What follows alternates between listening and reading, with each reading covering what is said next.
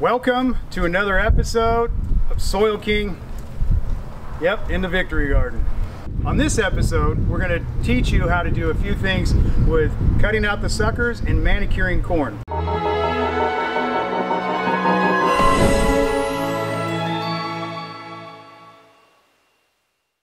Come on in here, follow me, and let me show you what we're doing. Come on.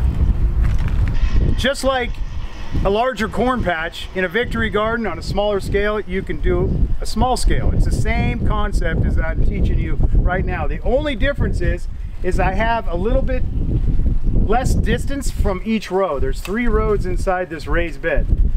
I always like to plant two to three seeds at the same place so the structure will grow up and it'll help support itself. Sometimes when you get one, corn gets lanky and wants to fall over. So I love to at least have two shoots coming up.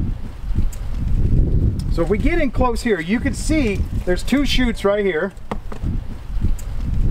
And it looks like four shoots that are coming out.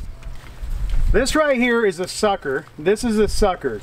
So all that's gonna do is sap the energy and shorten your corn. Have you ever seen or tried to grow corn where they just didn't get high and they were producing following over in small corn? It's because early on we didn't take the energy suckers off. So you need to take the suckers off and you just go down and you just cut them out. Just cut each of those suckers out there. And that's what it is. That's wasted energy for that plant. Now if I was to leave all this and not sucker the rest, these two seeds right here, these shoots will be the tallest because the energy is going to the yield, not to a wasted space. And then you just go through here and you can cut all these suckers out.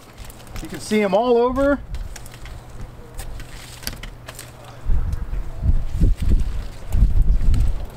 And that's how you plant corn and that's how you you can't just stick a seed in the ground. You actually got to love, you know, and, and give passion and just feel the vibe that these plants give you back. Take care of them and they take care of you. I mean, there's no there's no reason why you would spend all the energy, time, and money on great big root soil or other soils and not be proud of the yields you get. Like, if you look around the Victory Garden, I'm, this is my sanctuary, this is my pride. I love what I'm doing and I take care of these plants because they take care of me.